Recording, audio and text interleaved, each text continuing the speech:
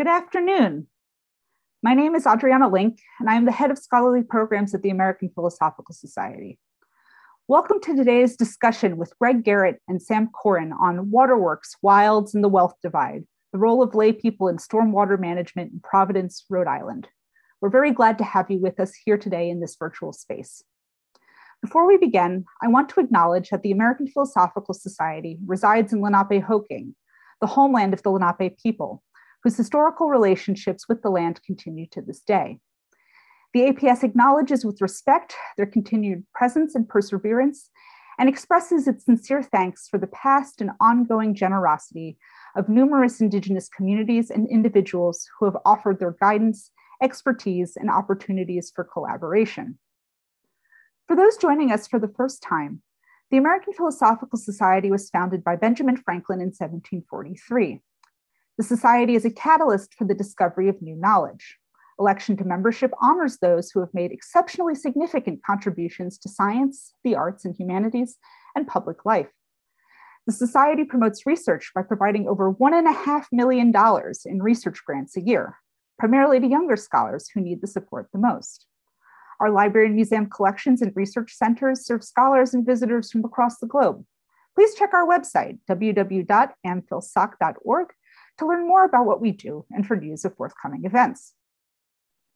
Today's program marks the first in a series of discussions highlighting citizen science projects across the nation and follows on the Society's Spring Symposium on the promise and pitfalls of citizen science.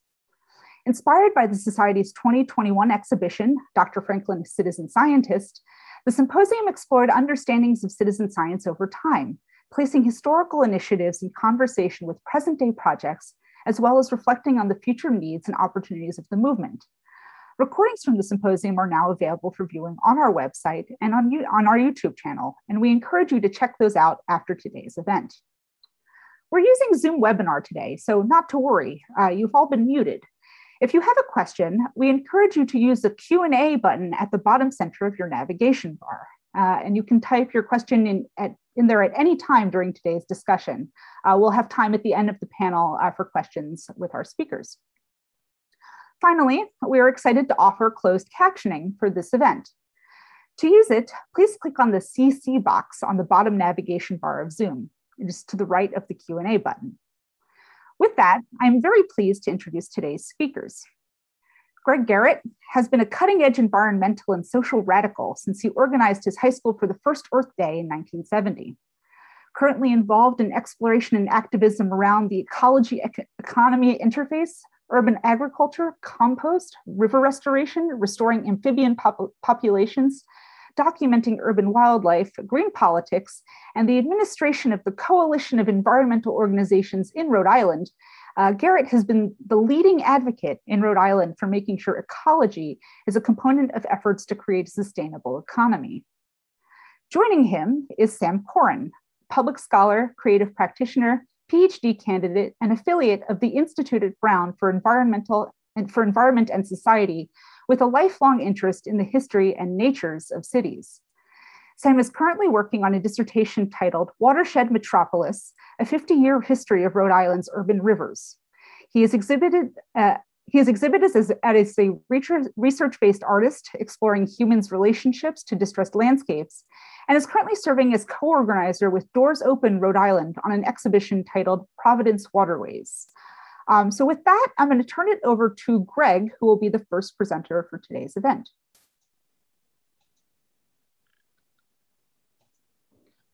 Good afternoon, everyone. I'm Greg Gerritt. I live in Providence, Rhode Island.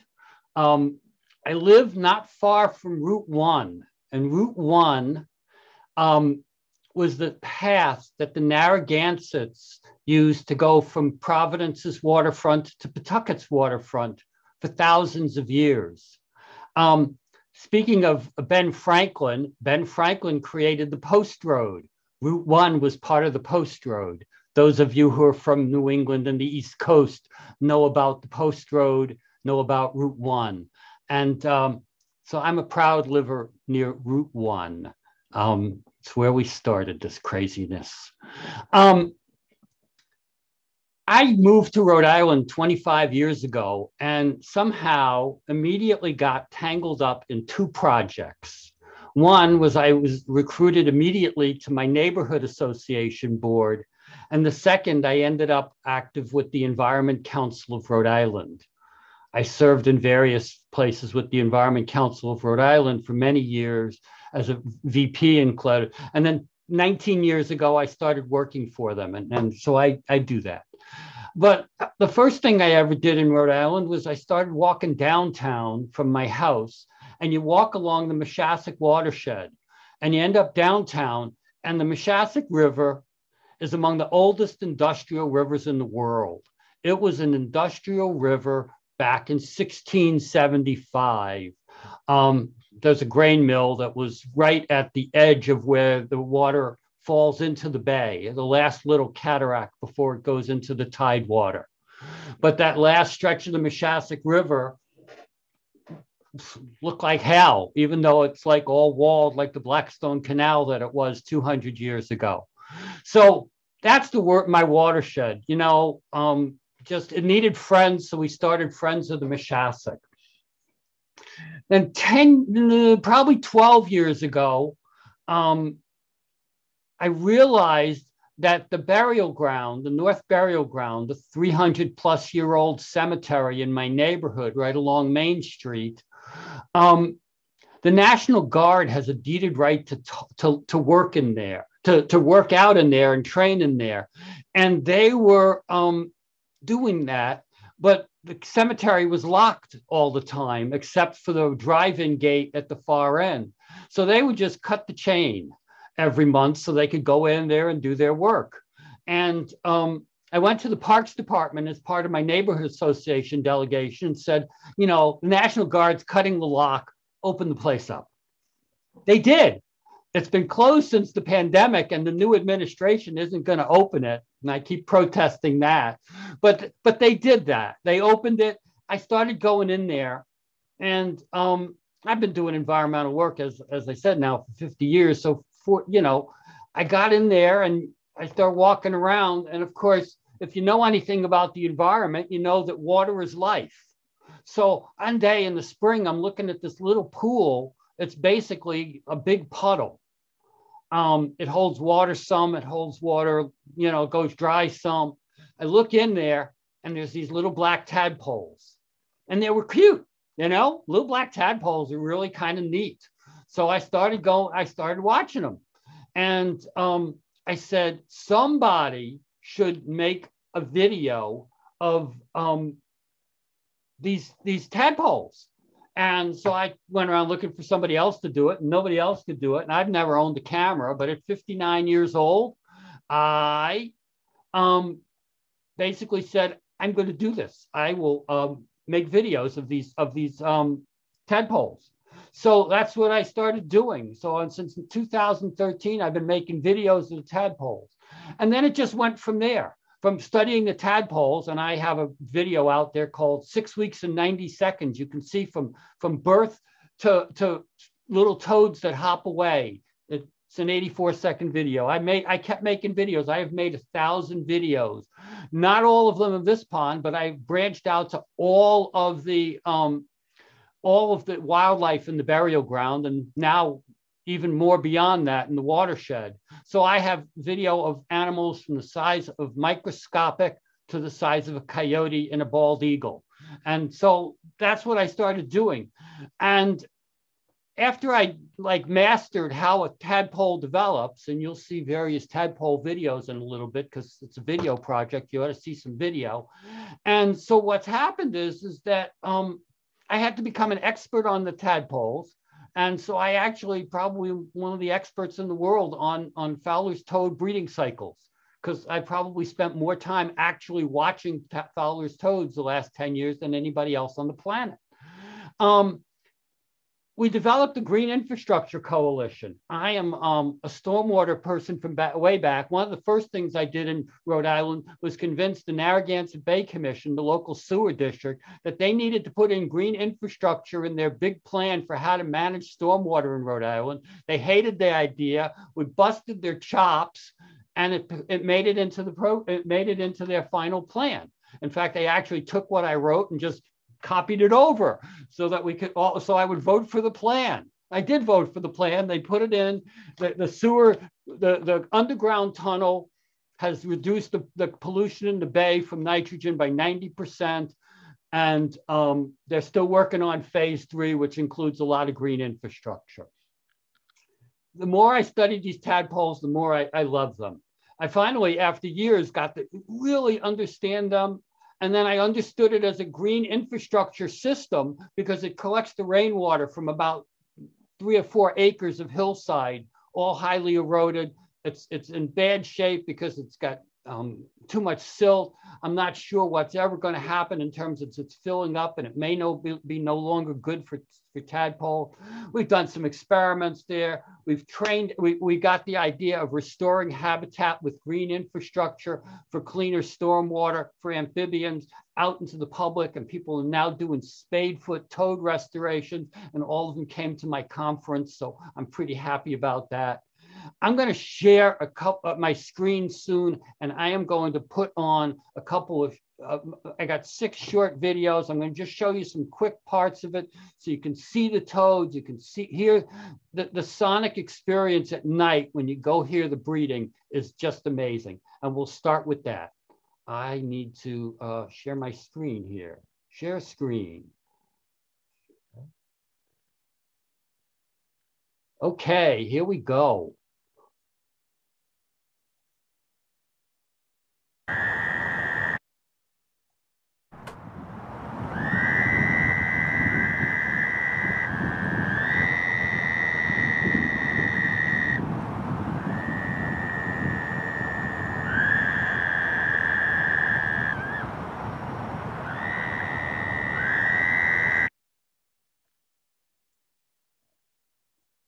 hope people can hear me when I'm talking. I don't know if I'm muted or what when I share my screen. Um, this one has tree frogs as well.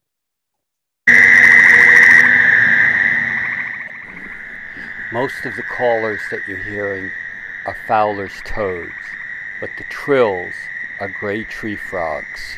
This is the first night that the tree frogs have been evidence in among the Fowler's toads.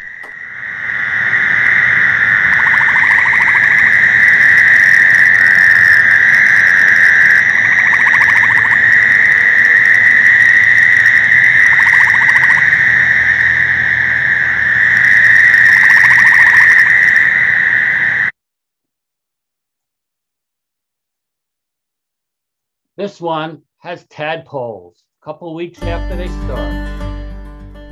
By June 2nd, Fowler's toads, tadpoles have been hatching for about two weeks. You can see the various size classes. The smallest ones are the youngest, the largest ones have been around for about two weeks. The little ones start off at about a quarter inch, the bigger ones now are probably just about a half inch.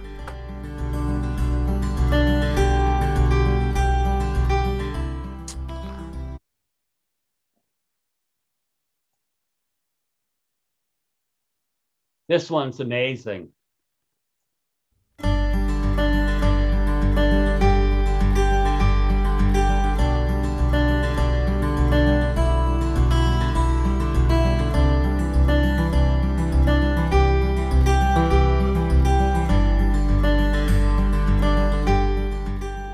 Tadpoles eat by scraping algae and bacteria off of leaves with moderate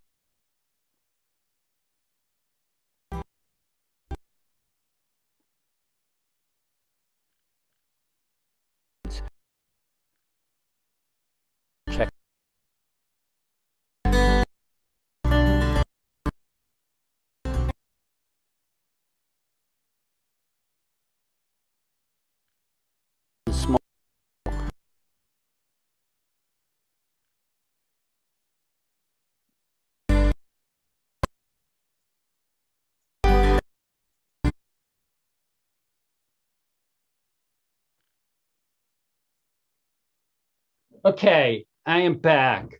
Um, what you saw was breeding night, followed by tadpoles, followed by some tadpole behavior. Um, the, the, how they eat just fascinated me for a while. And, you know, it's like first you learn the anatomy, then you learn how they develop, then you learn how they behave. Tadpoles, Fowler's toad tadpoles are kind of amazing. They live in these large groups, but um, they don't actually um, do anything socially. They seem to have absolutely no comprehension of each other as, as beings. They bang into each other almost randomly. Anything that touches them, they kind of flail around. So they're always banging into each other. It's really kind of amazing. Anyways, um, the pool itself is really amazing. And I'm going to share my screen this time without giving you computer video because it's a silent video. And I'm just going to point out things as they go by. Let me see how I do this. Okay, share screen, share sound, share.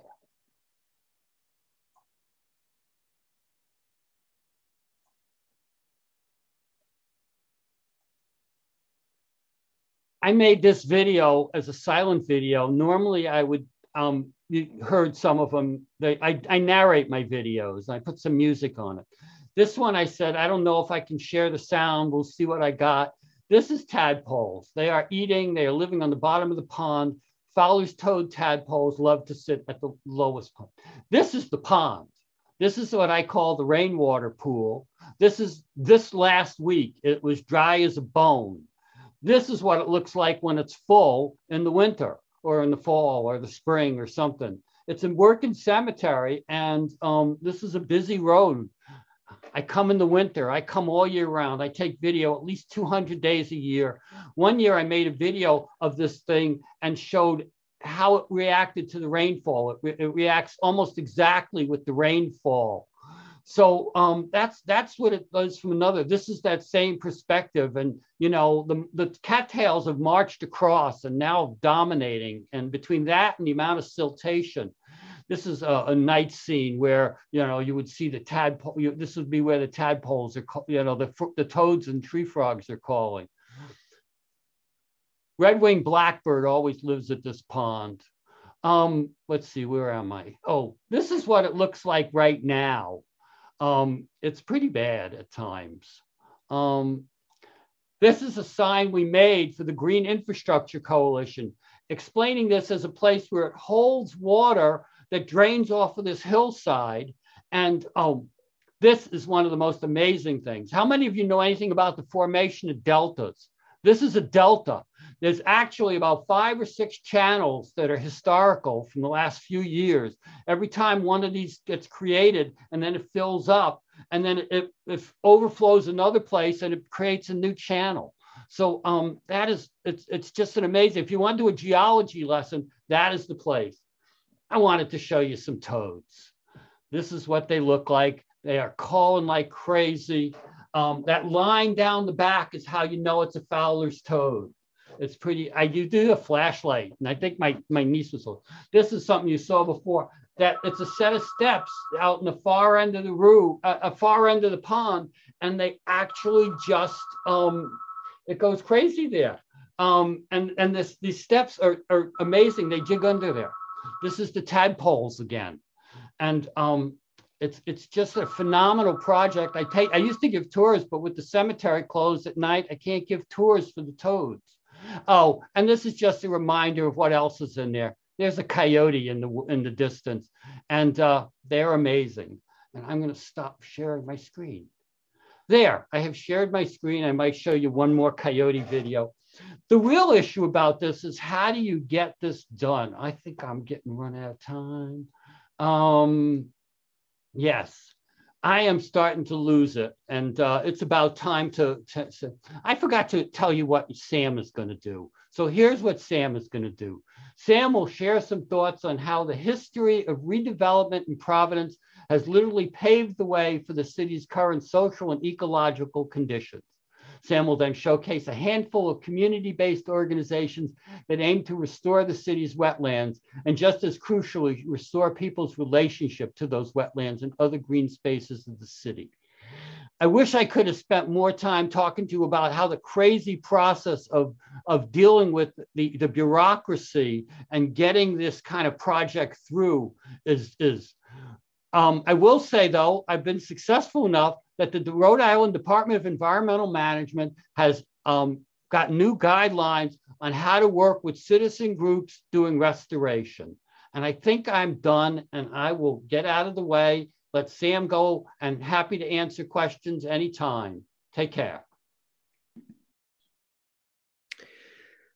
Thanks so much, Greg. Um, I'm going to just take a second to share screen here.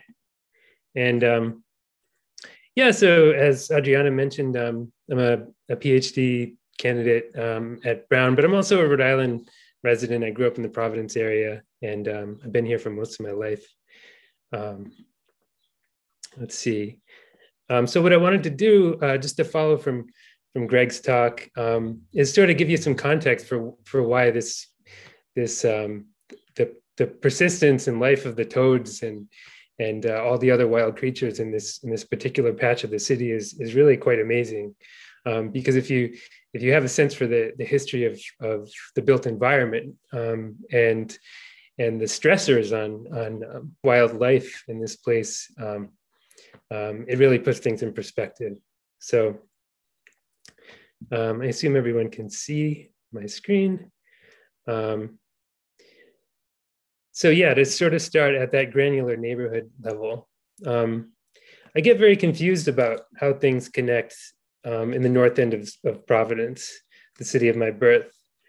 It's not that I find myself getting lost, as can happen along the narrow meshwork streets of pre-World War II neighborhoods to the south, like Federal Hill, Olneyville, or even parts of Smith Hill.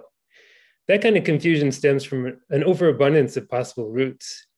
In the industrial North End, by contrast, I find myself getting routed because most diversions from the big main roads hit eventual dead ends. Things don't connect because the district's several throughways and highways act like so many border walls. In contrast to many older parts of the city, where there are a half dozen ways to arrive at any one destination. This is a landscape of ancient valleys and rivers, but the rivers especially get lost in the built overlay. Who would know, for example, that the West River flows in a ditch behind a stop and shop? Or that for a sneeze's length of time on I 95, you're driving over the buried Moshassuck River? Not all of the city's waterways are so forlorn. The downtown waterfront along the Providence River attracts visitors from around the region with its linear parks, pedestrian bridges, festivals, and public art along with recent efforts at habitat restoration for native plants and fauna. The nearby Woonasquatucket River, once a dead zone, has become a cherished site for surrounding communities with its public parks and trails. The Woonasquatucket River Watershed Council has removed dams and built fish ladders, and fish are returning to spawn in the river's waters for the first time in centuries. Here's, uh, here's some of those fish. The West River, by contrast, carves to the north end, little noticed, with scarcely any points of public access. It weaves invisibly beneath high speed roads and industrial property lines, at certain points reduced to a mere culvert. In the no, in the no man's land between two highway, highway ramps off Branch Avenue, it converges with another similarly small and embattled river called the Moshassuck, which takes its name from the Narragansett word meaning where the moose drink. Maybe they'll come back someday, those moose, but they've long been gone from the river's banks and from the region.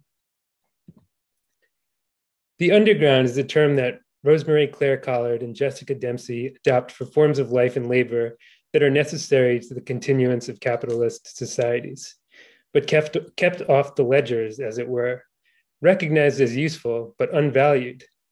In the realm of human labor, the authors applied the term to the unwaged work of social reproduction especially as performed by women.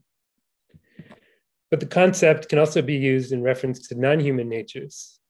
The underground encompasses freely available services or work provided by ecosystems, a kind of national international infrastructure needed for liberal capitalist operation. From carbon sequestration in the case of forests to food crop pollination in the case of bees. The urban wetlands of the West River and the Moshassuck are one such underground. You won't find them on most Visitors Bureau guide maps, but they still do labor for the city. They absorb and flush stormwater from the surrounding hills and valleys. Their wetlands cool surrounding streets, absorb excess carbon, and collect trash. They provide medicines and herbs, and they might one day again become a source of food. Their invisible, their invisible banks also provide shelter for people with nowhere else to go. Along the river's edges these days are so many traces of human occupation tents, clothes, books, and even baby toys. Everywhere beyond the sightlines of the surrounding streets, the city's wetlands are a haven for residents who have become outcast surplus, to borrow another of Collard and Dempsey's terms, amidst a chronic shortage of affordable housing that is region wide. Historian Richard White wrote of the Columbia River that it's at once our creation and retains a life of its own beyond our control. In the case of the Moshassuck and West Rivers, that life was denied for most of the 19th century and some of the 20th as the waterways were yoked both as power sources and provisional sewers. Sprawling mills and mill villages rose to harness these powers. And where they rose, the rivers were literally, literally worked to death. Bleacheries, textile mills, slaughterhouses, and sewage outflows choked and toxified their waters. As one journalist remarked in 1916 of the Moshassuck, none but a tin fish with a double coat of non corrosive paint could live in it. It must have been hard not to notice the rivers in those years not only because they smelled awful, took on the colors of dyes, and flowed with slaughterhouse blood, but because the life and labor of the whole district oriented to them, for better or worse. Gradually, however, with the decline of industry and then decisively at the hands of officials and planners, the city turned away from the rivers, and it hasn't turned back. Much of the old North End, where the Moshassuck and West Rivers run, was razed and leveled in the late 1950s. The city's 1946 master plan for land use and population distribution declared that the new industrial sites should be established in the valley bottoms on land now largely occupied by bad housing, a strategy meant to kill two birds with one bulldozer, namely the, namely the flight of industry and the quote unquote blight of low income multiracial neighborhoods. Development Area D7 and this is not a perfectly accurate map of where that is, but it's close, as a slice of the North End was known in city planning documents, was home to about 3,000 residents occupying 500 buildings on 50 acres. The neighborhood was working class and multi ethnic, with residents including Irish, Poles, Italians, and by the 1950s, African Americans. Um, this is, it's hard to find pictures of the old North End. So this is actually a neighborhood in South Providence um, that was that was cleared um, around the same time as part of another urban renewal project, as many of the neighborhoods in the city were. To justify the displacement of so many people, the Providence Redevelopment Agency cited the neighborhood's difficult topography, irregular street pattern, and quote, social ina- inadequacy, the last point referring to higher than average cases of tuberculosis, quote, illegitimate births, and general public assistance cases. The West River Industrial Park, designed to attract corporate interests that demanded easy access to highways, was the first development of its kind in New England.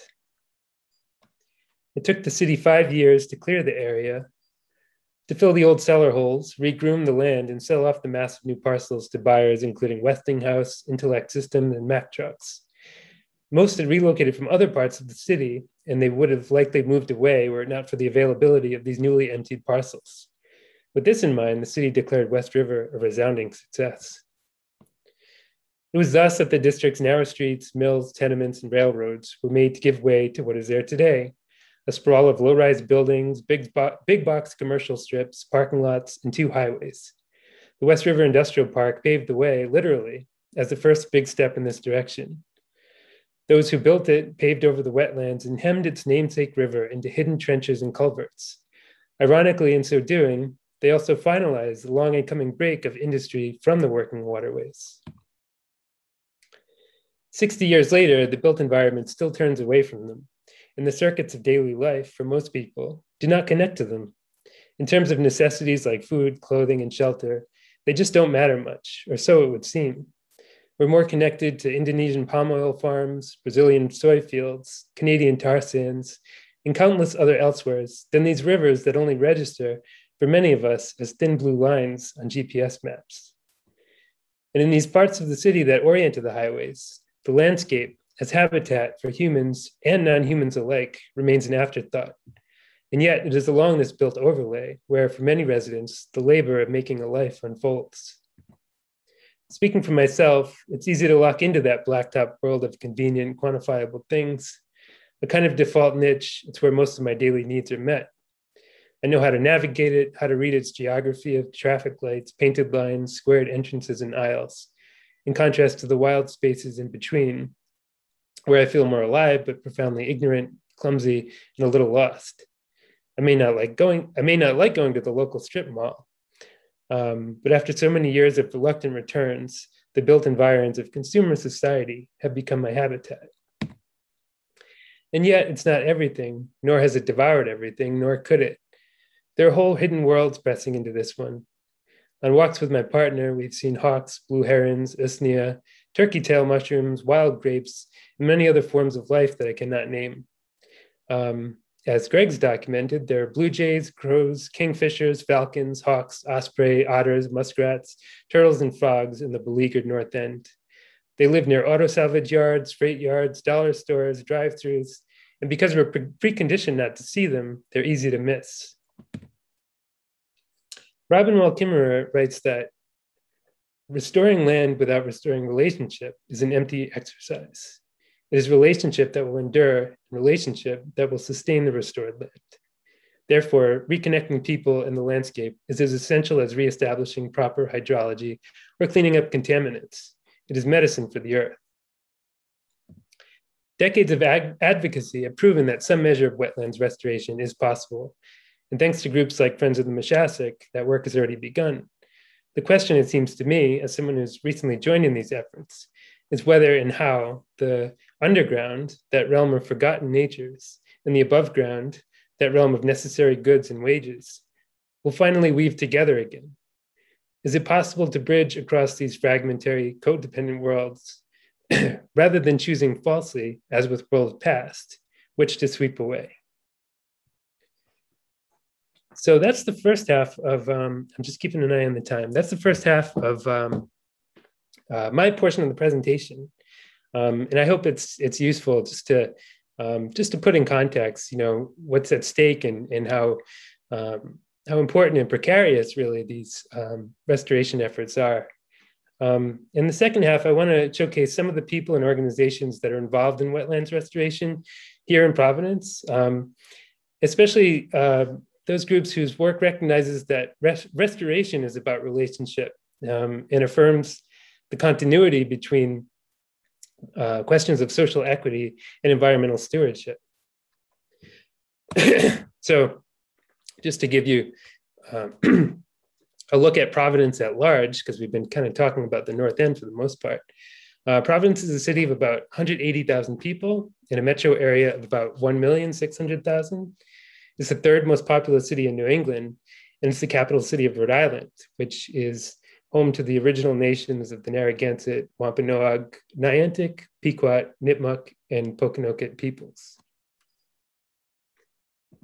Um, here's just some more city pics. Um, a lot of geese in the downtown area.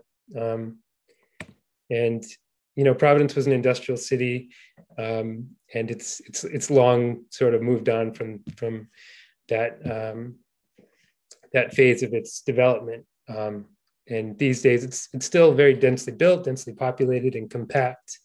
Um, and much of the city, unfortunately, is is is paved.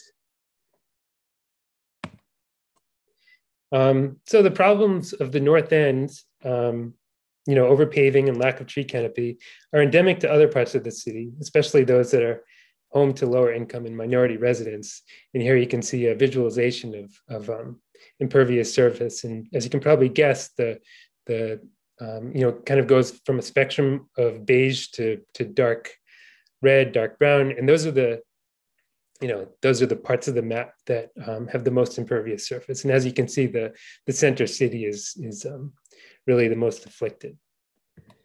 Um, some other visual, visualizations of that. These are um, maps from Groundwork Rhode Island, uh, from a story map called Climate Safe Neighborhoods. Um, and you can see here uh, tree canopy distribution. And again, you know, in the center of the city, uh, the north end, but also South Providence, uh, the west end, um, that's where there's the least um, the least cover. Another way to slice that, another way to look at that is, um, you know, um, me, uh, mean surface temperature in different neighborhoods. And again, you can see the city center is, is uh, among the hottest areas of the metro area. Um, again, you know, just showing how these things um, correspond. Uh, land surface temperature and impervious surface um, tend to um, uh, high land high land surface temperature and extensive impervious surface um, tend to correlate with uh, low tree canopy cover. Um, this is just a close-up of uh, uh, more or less around the north end, um, showing how it is one of those areas of the city that's afflicted in this way. Um, so as I was mentioning, these, these maps are from a group called Groundwork Rhode Island.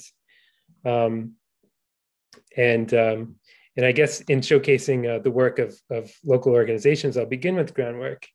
And um, I'll, I'll, begin actually, I had a conversation yesterday with Kufa Castro, who's program coordinator with groundwork, who's been leading the Climate Safe Neighborhoods Project in the near, nearby cities of Central Falls and, and Pawtucket. And um, I'm showing you this clip where Kufa was responding to the question of why is it important for youth to connect to the waterways and open spaces of the city? So I'll play that now. I think it it serves um anytime I go to the waterway or or I or I, I see how even they react when we go, like just how much they relax and like you can see it in their body bodies, their shoulders going down. Like it's a it's it's a way of meditation. It's also if if you can fish in that in that in, in, in that area, like seeing other people fish, like that's that's a way also to you know, to to get a um to have more access to food, to you know, to local food and and that that environment. But um yeah, so I, I think it's important in those ways and and and and these communities which are feeling the effects of climate change the most, like I don't think they if they if if they are not doing those those interactions uh, early on and and ongoing um you know they won't be the people on the ground um, trying to to solve their own problems you know? Uh, or or changing their own uh, their own environment because if i feel like those connections just need to be made to be able to care um, as as to why am i connected to that waterway? Um, so yeah as i mentioned you know kufa's uh, program coordinator with groundwork and um, uh, part of groundwork's sort of uh, constellation is uh, the Green Team Youth, and they work outdoors and engaging in physical improvement projects, and along the way learn about various environmental sustainability efforts and how they, as as as youth residents of the city, can be involved as leaders and activists to make local communities healthier places to live. Um, there's also um, Ground Core Landscape, which provides valuable paid hands-on work experience to graduates of a job training program as they search for permanent employment. Um, and these projects demonstrate urban landscape restoration and stormwater management best practices, contributing to the health and vitality of the people and places in Rhode Island's urban communities. Another, another very active and robust group in um, the Providence area is the Woonasquatucket Watershed Council, um, they've done a lot of work over um, the past 20 plus years, um, a lot of it um, involving dam remo removal and um, introduction of fishways and fish ladders.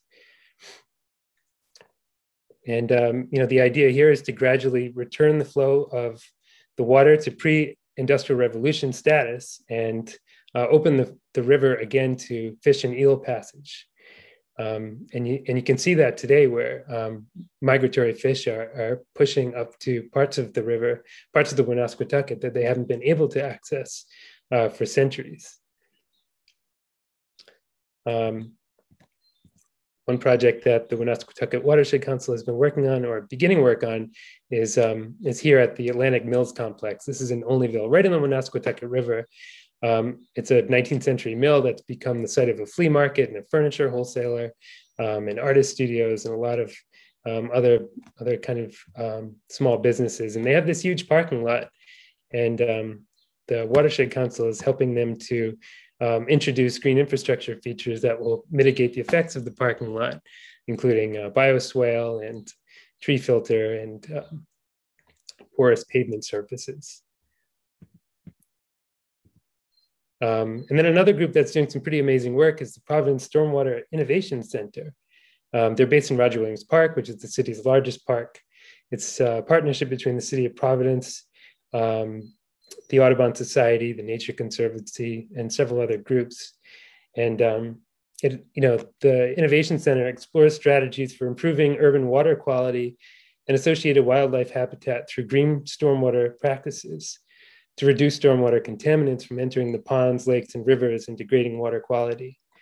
And uh, they provide hands-on training for municipalities, engineers, construction companies, scientists um, who learn from the successes and failures of um, this network of dozens of different um, stormwater catchment uh, sites throughout the park. Um, and they also aim to educate communities nearby about stormwater and um, its effects on water quality through different volunteer monitoring programs and neighborhoods art, neighborhood arts festivals. Um, on the policy side of things, I just wanted to uh, quickly mention the climate justice plan, um, which um, Providence is the first city to have this kind of plan. A lot of cities have uh, sustainability plans, but um, this is this is one of the first and, and unique for the fact that it integrates um, a kind of um, social justice platform with uh, with um, environmental stewardship and restoration. And uh, there's good reasons for that.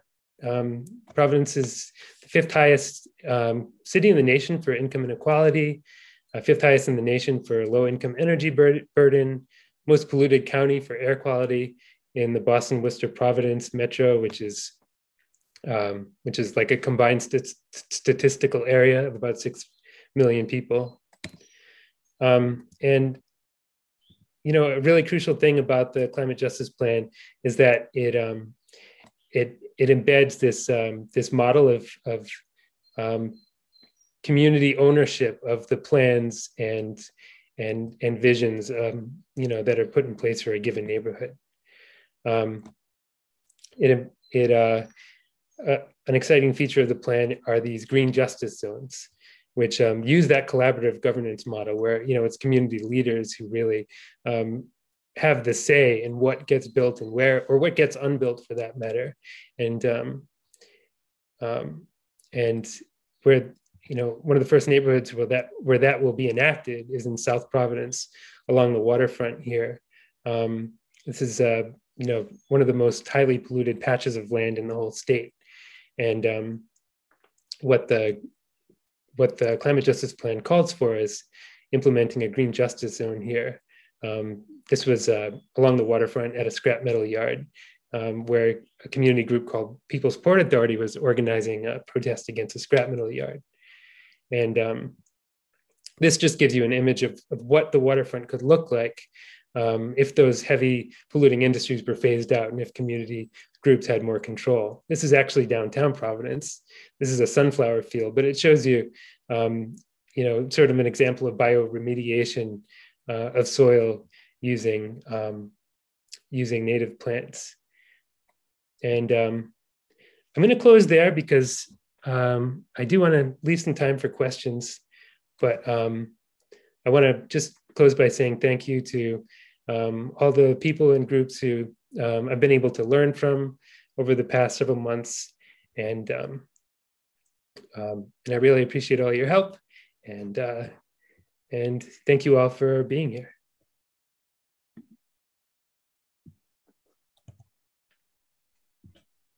Thank you both so much for sharing um, these really interesting complementary projects that you've been working on. I, I think it's been really great to see sort of Greg, your, your on the ground perspective, and then Sam, your, your sort of larger lens on, on what's going on both both in Providence, but also um, more broadly.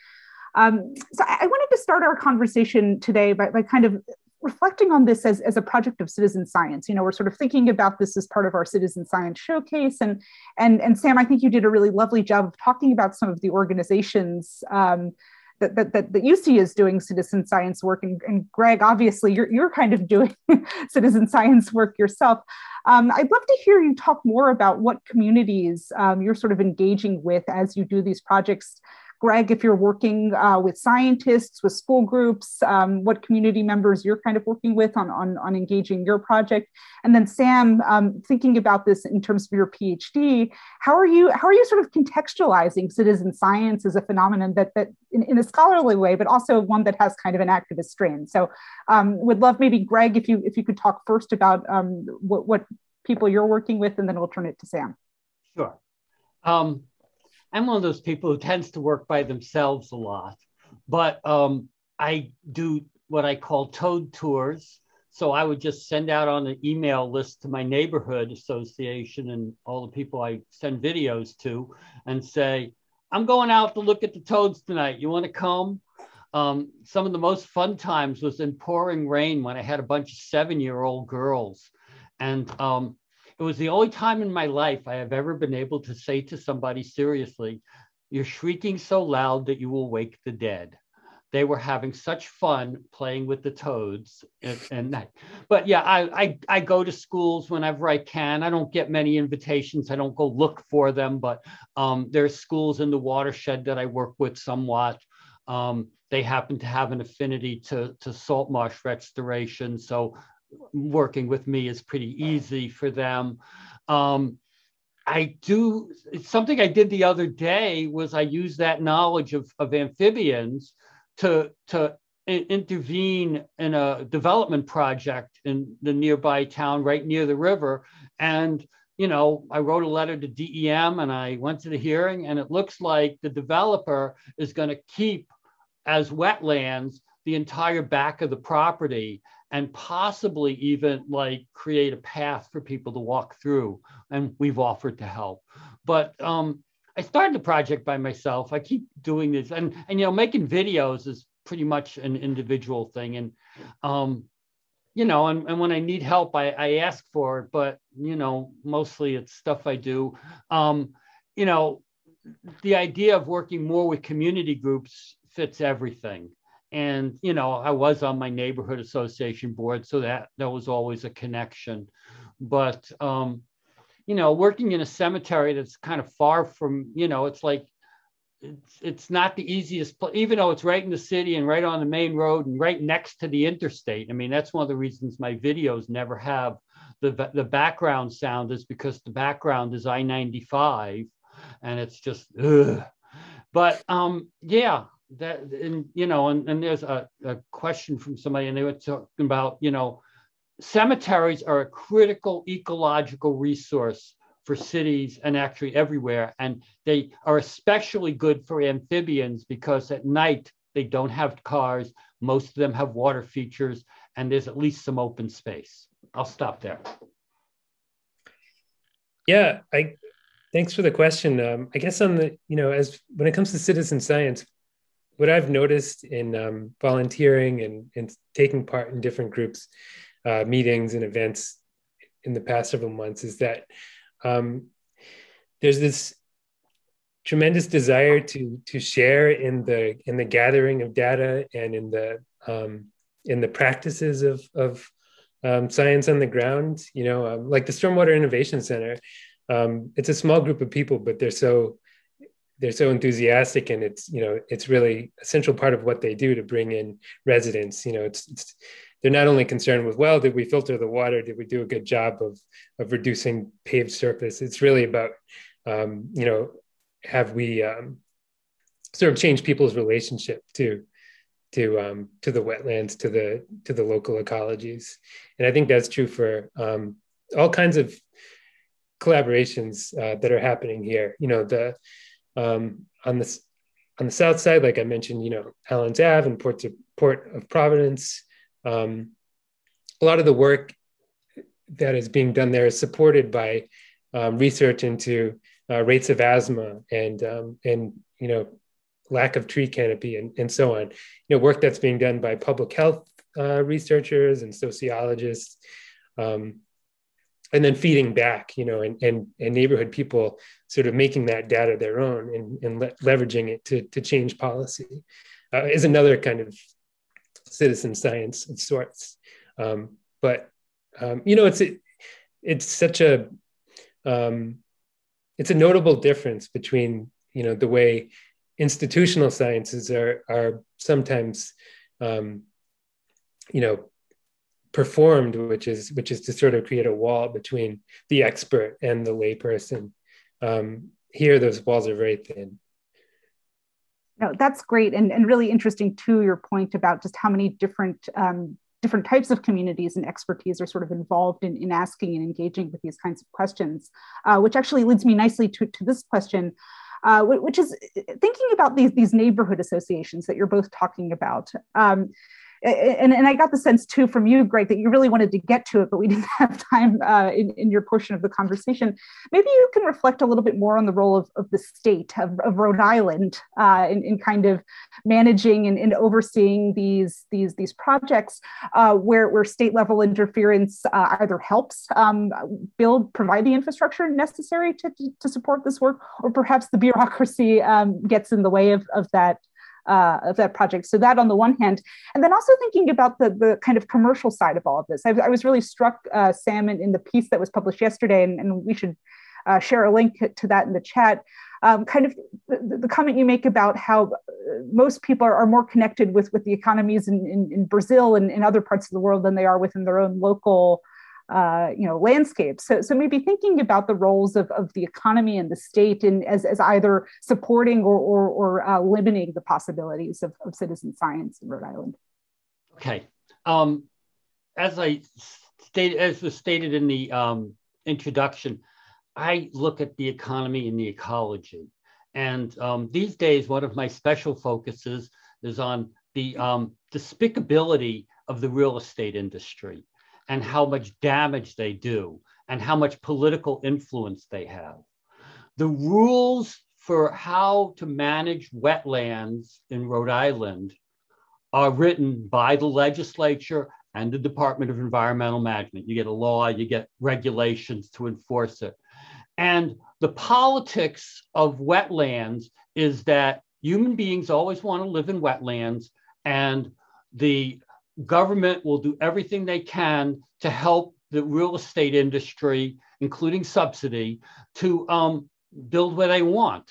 And so, on that level, the government puts most of its weight against the protection of waterways, against the protection of land. Now, there is still a lot of pushback on that. And, you know, we get the Clean Water Act, we get state laws, we get you know, the state doing regulations, and then you get the permitting process. And I've been doing way too much permitting stuff recently because, um, you know, they want to permit, you know, a, a gas facility in an EJ community. They want to put a power plant next to a river and you know and so we fight all of these things. And and the system is sort of rigged against communities. It's sort of rigged for the rich all the time and has been in Rhode Island since 1793 when the fishermen at the Blackstone River at the Falls of Pawtucket said don't build a dam. We need that salmon run to survive. And um, the state of Rhode Island and the federal courts ruled against the fishermen, and they built the dam that built at Slater Mill that started the Industrial Revolution. I mean, it's really clear that how how that is, and yet. You know, it gets better in some ways, it gets worse in some ways. When they rewrite the wetland regulations, they're usually a little more protective. But the whole thing is really problematic because so much of the weight of government is develop the economy, build those mills. You know, when whenever we say, you know, protect the, the environment, you know, there's a whole political party whose whole shtick is, you know, it's bad for business. When the actual data says the more you protect the environment, the healthier your economy. So a lot of it is bogus, but you know, it takes people like me who will say that anywhere and in any hearing because nobody else will, will get that blatant and clear about it to do that. And and you know, and and they can't really argue with me because I come with better data than they do. Sam, anything uh, to add on this point? Um, no, I I think I think Greg has more experience than I do with state level um, politics and policy, but it does seem to me, I can say at least that it seems like there's, you know, the state is a very big and slow ship to move, whereas um, at the city level, there's there's a lot of exciting things happening, and um, um you know, there there are you know there are obstacles to community engagement there that are that are structural and and and deep and stubborn. But um, you know as i was mentioning with the climate justice plan um, and and and many other things that are happening um, at the city level. Um, it seems like there is a shift in thinking away from the the kind of um, unfortunate and false divide between you know well there's the you know we have to think about the environment but but but the economy comes first you know th- thinking of those things separately it seems like maybe there's there's a, a, shift in or the germs of the beginning of a shift in thinking um, you know at the at the local level of governance I will jump in just to say I agree with Sam. I have been very active on the local level and, you know, the climate justice plan and all the, the, the, previous plans and getting the city to put in more gardens and all of that. So the city is more amenable to those changes, probably demographically as well as politically, than the rest of the state. But, um, you know, there's progress, but it's never fast enough it's kind of like the climate thing. We got climate justice plan, but you know the city hasn't like thrown out all of its gas powered trucks. Yeah, I was going to ask you actually if there are any particular challenges um, that either of you see coming uh, specifically from climate change. Um, that I mean, on top of everything else that we've already talked about. Yes, amphibians are in serious, serious trouble. I mean, they're the most in trouble group in the world you know, I started off with endangered species, went all over the world, and you know, and, and my work instead of that, but ended up back with amphibians and endangered species. Amphibians are endangered. Climate, uh, but between development, but climate change, the irregularity of the rainfall has definitely going to affect breeding cycles of amphibians. And amphibians have resilient systems and they're used to years where there's nothing happening, they can't breed. But you get two, three, four of those in a row, and you're in big trouble or you get a flood at the wrong time and, and they're in big trouble. So so amphibians are absolutely in danger because of climate change.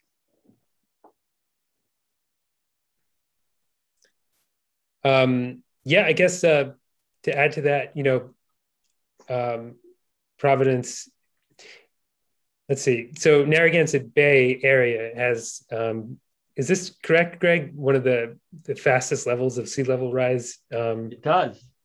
Is it in North America or, or globally? I'm not sure. It's one of the fastest in, in the country, in the world because we're getting sea level rise and land subsidence at the same time. And plus, we keep eating our salt marshes for, for luxury housing. Mm-hmm. Yeah, there's a great there's a great book um, by Elizabeth Rush called Rising, um, which which talks about the the impacts of um, rising sea levels and changing coastline ecologies in different uh, parts of the U.S. But one chapter is about Rhode Island, and um, and she talks in depth about those uh, those disappearing marshes. She's based in Rhode Island. Yeah, yeah. So we've talked a lot about Rhode Island, and, and perhaps as, as a way to close, because unfortunately we're, we're, we're out of time. Um, based on based on all of the work that you've done, um, either videoing uh, toad communities or, or, working with community organizers, are there particular lessons or takeaways that you see as, as being sort of transportable to other other cities, other contexts? Um, I mean, I, I, think that we get the sense that, that that climate justice is very much a local event that needs to happen. But but what what what lessons do you have for our viewers who are perhaps watching, uh, you know, from Philadelphia, uh, where the American Philosophical Society is based, or elsewhere? Um, I guarantee that there are people doing the same kind of work that Sam is talking about and that I'm talking about everywhere.